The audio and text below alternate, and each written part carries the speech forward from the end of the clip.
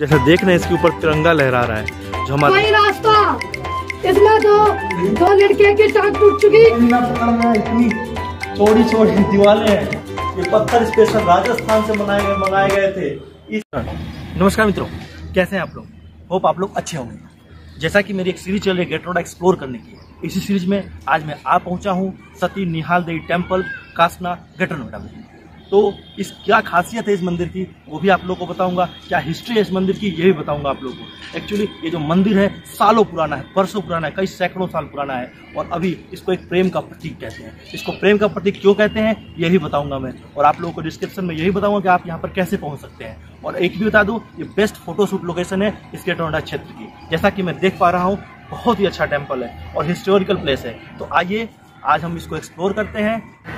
तो ये जो टेंपल है सती निहाल देवी टेंपल वो बरसों पुराना है, सैकड़ों साल पुराना है।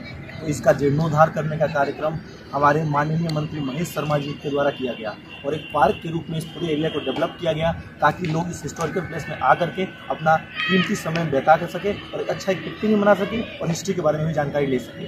तो हम विशेष दस जून दो को इसका इसका लोकार्पण किया गया। तो हम विशेष धन्यवाद देंगे श्री महेश शर्मा जी और श्री वीरेंद्र सिंह जी का भी इन्होंने ये पुण्य काम किया और इस धरोहर को अच्छे से स्थापित, पुनः स्थापित किया। तो चलिए, चलते हैं। चलिए।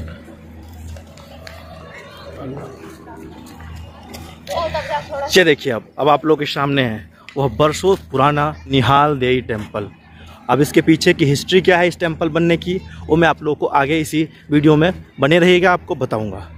तो चलिए। देखिए, हम लोग जैसा देख रहे हैं, इसके ऊपर तिरंगा लहरा रहा है, जो हमारा राष्ट्रीय प्रतीक है। आइए।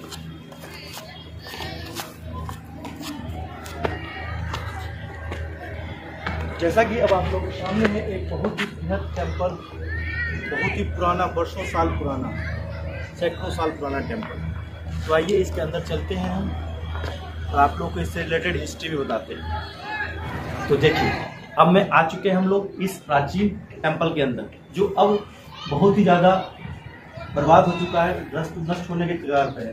फिर भी इसका जीर्णोद्धार सरकार करने की कोशिश कर रही है। तो अब मैं आप लोगों को इसकी हिस्ट्री बता देना चाहूँगा। तो क्या है? इसकी हिस्ट्री क्या है इस टेंपल की?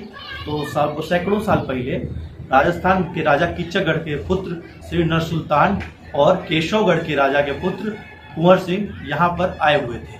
शिकार करते करते इस कासना क्षेत्र में।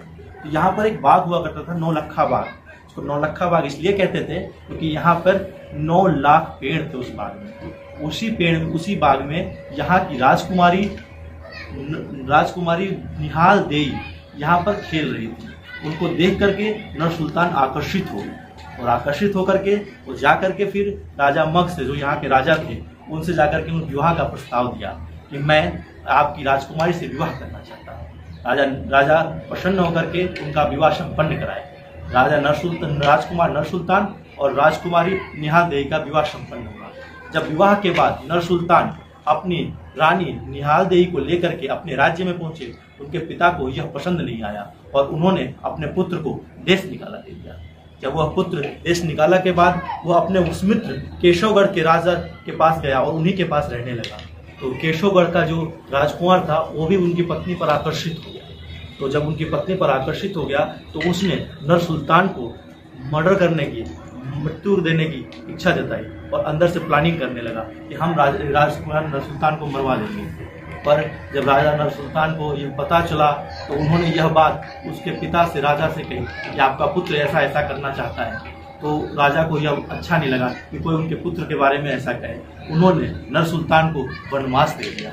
जब नर सुल्तान वनवास जाने लगे तो जो उनकी पत्नी थी, वो भी साथ में जाने की जिद करने लगी। परंतु वह साथ में नहीं ले गए और कहे, कि आप यहीं रहो, हम कुछ दिन बाद आकर के आपको ले जाएँगे।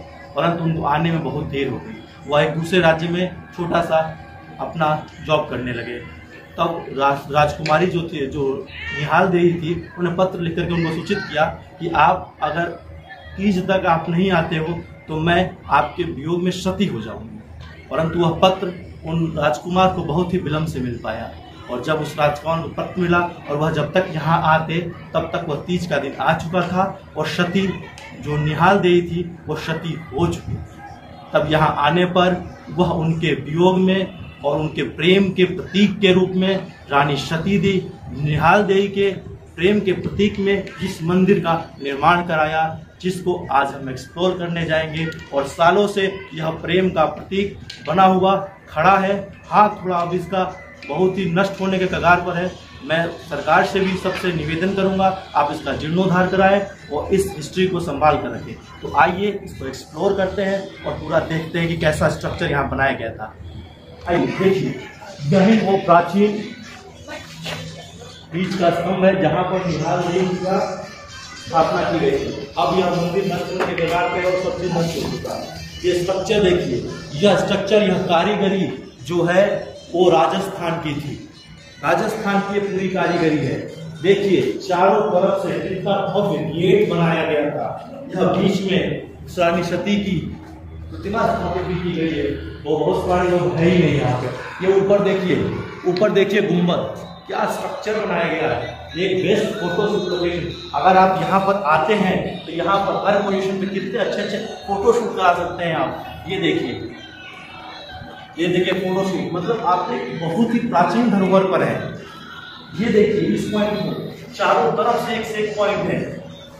इधर देखिए, चारों तरफ़ मतलब आप जिधर चाहे उधर आकर के फ़ोटो शूट करा सकते हैं. चारों तरफ़ एक से एक लोकेशन है. आइए हम बाहर ले सकते हैं। और ये दीवारों का साइज़ देखिए।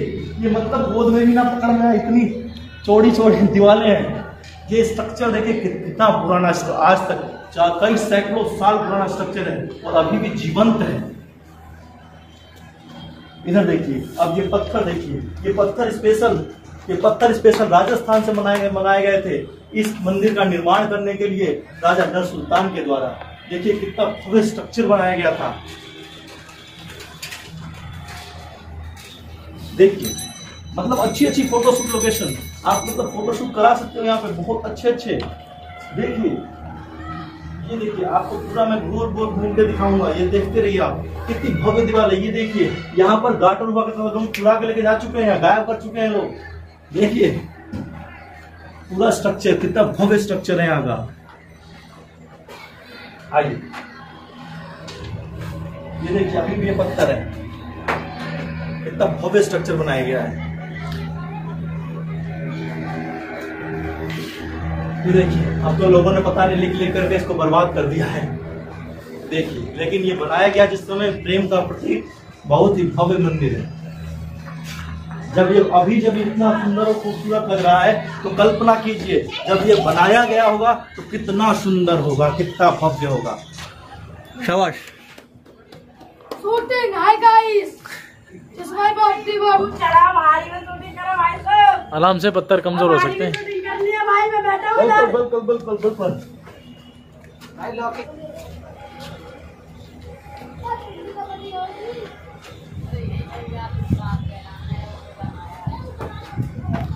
आ सकते हो कुलदीप भाई आ बहुत बढ़िया। अंधेरा आ रहा है। वही लोकेशन था हाय गाइस मत आ जा। खतरनाक सीढ़ी।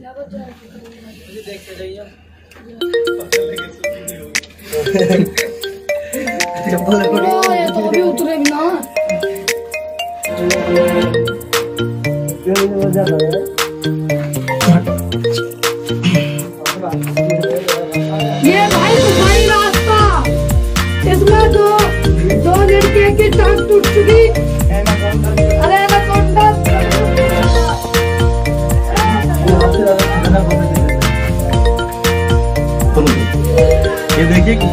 करने में ही होती है? चढ़ना तो आसान चलिए पहले उसको उतर जाने दीजिए, हमारे कुलदीप भाई को।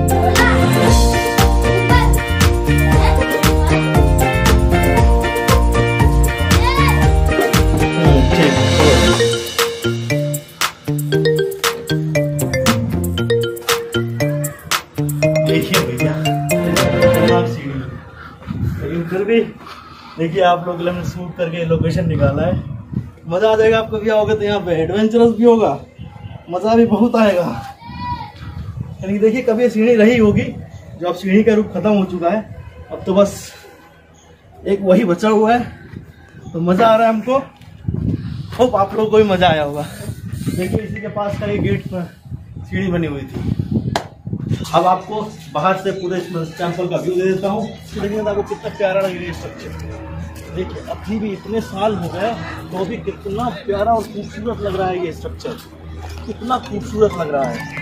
ये देखिए बाहर पूरा राजस्थान के पत्थर से। राजस्थान की कलाकारी है। देखते रहिए आप हमारे साथ। आते हैं यहाँ तो अच्छा खासा फोटोशूट भी करा सकते हैं। मतलब फोटोशूट के लिए भी ये परफेक्ट लोकेशन है। कोई आप शूटिंग कर रहे हैं। आप यूट्यूब की वीडियो ही बना रहे हैं। तो एक हॉन्टेड प्लेस के रूप में भी इसको यूज़ कर सकते हैं आप। मतलब एक प्लेस के कई सारे यूज़ हैं यहाँ पे। गोल में आप घूमते रहिए और देखिए।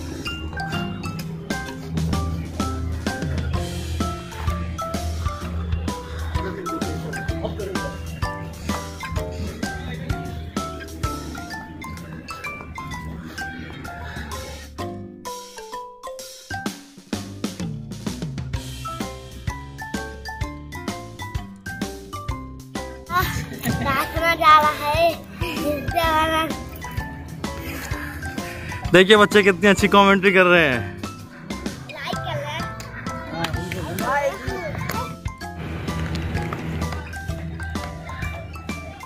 तो कैसा लगा आप लोगों को? आज मैंने आप लोगों को सती निहाल देवी टेंपल लेके आया था, जो एक प्रेम का प्रतीक है और इस ग्रेटर नोएडा का बेस्ट फोटोशूट लोकेशन भी है। तो अगर आप लोग ऐसी लोकेशन देखना चाहते हैं, मेरे साथ बने रहना चाहते हैं तो प्लीज़ मेरे चैनल को सब्सक्राइब कर दीजिएगा। और ये वीडियो अगर अच्छी लगी हो तो लाइक करना भी मत भूलिएगा। तो मिलते हैं नेक्स्ट वीडियो में नेक्स्ट लोकेशन पे। Till then take care signing off Ankit Kumar नमस्कार।